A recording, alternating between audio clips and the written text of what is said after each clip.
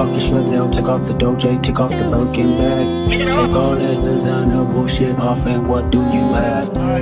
Two ATMs, you stepping to what?